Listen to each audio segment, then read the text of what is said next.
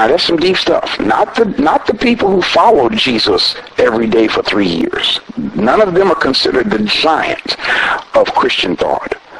But the person who had this Christophany, and I'll break that down in a moment. This this this encounter with Christ on the so-called Damascus Road. This person becomes the giant of Christian thought. And let's deal with that for a moment. Let's deal with that, okay? Let's talk about uh, the experience that Paul had, okay? And as a Jew, of the so-called dispersion. He was born according to the biblical text in Tarsus.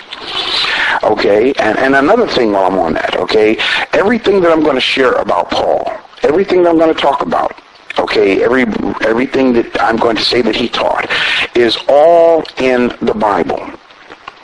Please understand that. And the reason for that, brothers and sisters, is because there is no evidence outside of the Bible to validate the existence of a guy known as Saul of Tarsus, which became Paul of the Christian faith. There is no evidence whatsoever that shows or speaks of this guy named Paul outside or apart from the Bible. All literature that talks about Paul is founded upon what is said in the Bible about Paul. So when you go to the Christian bookstore and you pick up books about Paul, okay, uh, the apostle to the Gentiles, Paul, okay, uh, you know, the great teacher, Paul, okay, whatever you read in another book is still was taken from what the Bible says about Paul. Outside of the Bible, apart from the Bible, there is no evidence anywhere on this planet that this man named Saul of Tarsus or Paul ever historically existed. Okay? And not only Paul, but actually any other person you mention in the Bible. Okay? There is actually no evidence whatsoever anywhere on this planet of their existence. Okay? And I, I usually get into some serious discussions with people about that, you know.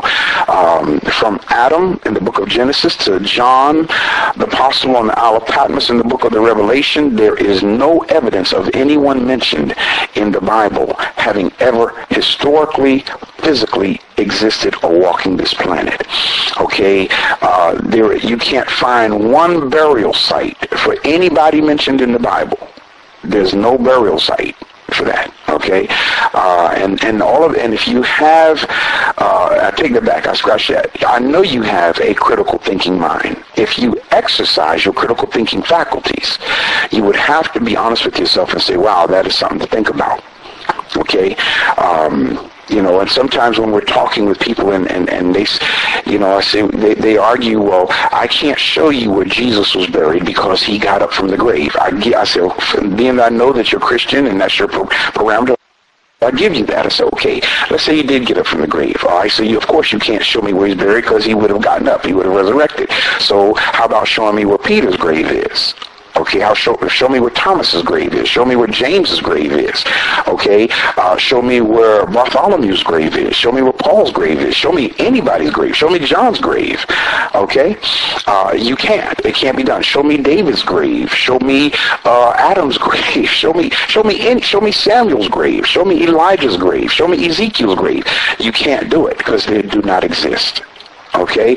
And I know that what I'm saying is, is punching some of you right now in the chest like a like a balled up fist hitting at full force. I don't mean to I don't mean to um, attack your belief system. I'm just sharing fact with you, brothers and sisters. See, there's a difference between fact and faith. And when you really get right down to it, most of us are where we are based on faith. I'm sharing a factual statement with you, okay? There are no graves to be found of anyone mentioned in the biblical text. And yet I can take you, well, I can't take you right now tonight, but if you go with me to Egypt, I can show you the graves and tombs and, and, and, and, and, and, and man, and sarcophagi of people that date back 10,000 years ago. Okay, so let's let's let's keep it real, man. Let's let's not get caught up in a fantasy. Okay, I'm trying to give you fact tonight, and I hope you will receive it as that. okay, and not as an attack on your faith. I don't mean to attack your faith tonight. That is not my purpose. Okay, so let's look at this carefully. Paul of the Bible was supposedly unconsciously being prepared by his contacts with the Euro-Gentile world for his role as a missionary around the Mediterranean basin.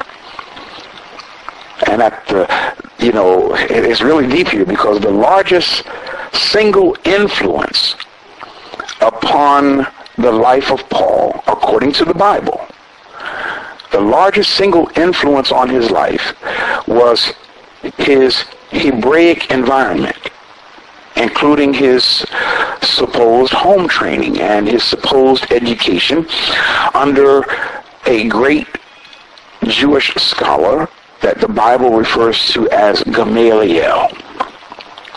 And for proof of that, you would look at Acts 22. Let me turn there with you. The 22nd chapter of Acts, verse 3. Okay? Uh, so let's turn there and just bear with me because I'm flipping pages here.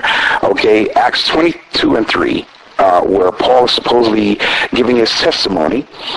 He says, I am verily, or I am truly, a man which am a Jew, born in Tarsus, a city in Cilicia, yet brought up in this city at the feet of Gamaliel okay, and taught according to the perfect manner of the law of the fathers, and was zealous toward God as you all are this day. So he says here in this verse that he was taught at the feet of a supposed Jewish scholar by the name of Gamaliel, which still, which there is no evidence or records of his existence either. We don't find any of his writings or anything like that, okay, but of course Acts 22 and 3 says that Paul was uh, taught by Gamaliel. So for the sake of the fact that it does say that, let's suppose that that did happen, okay?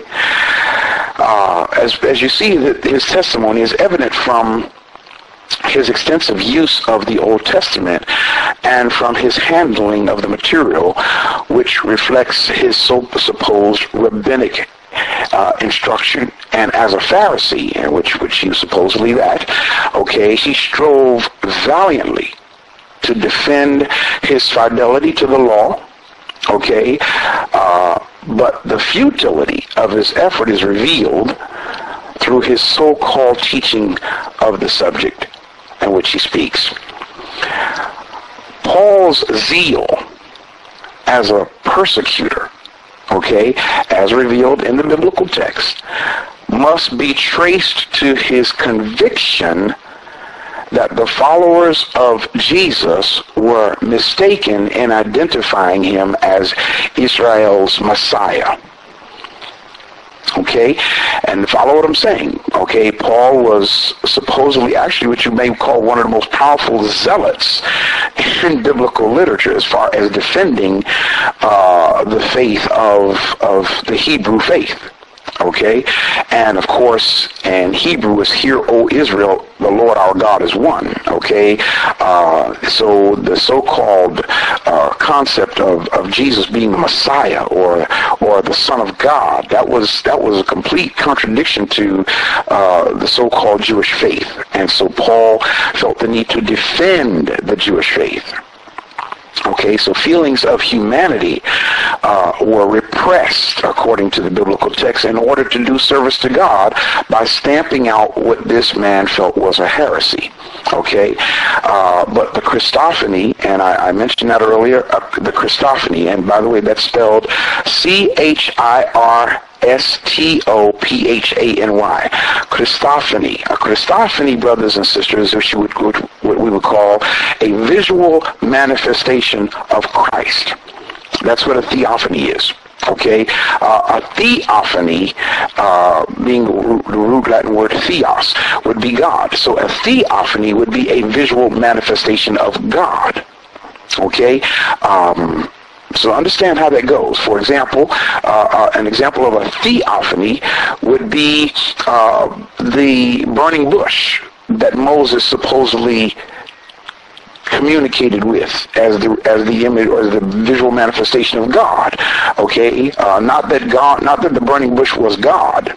Okay, but it was a theophany, meaning a visual manifestation of God.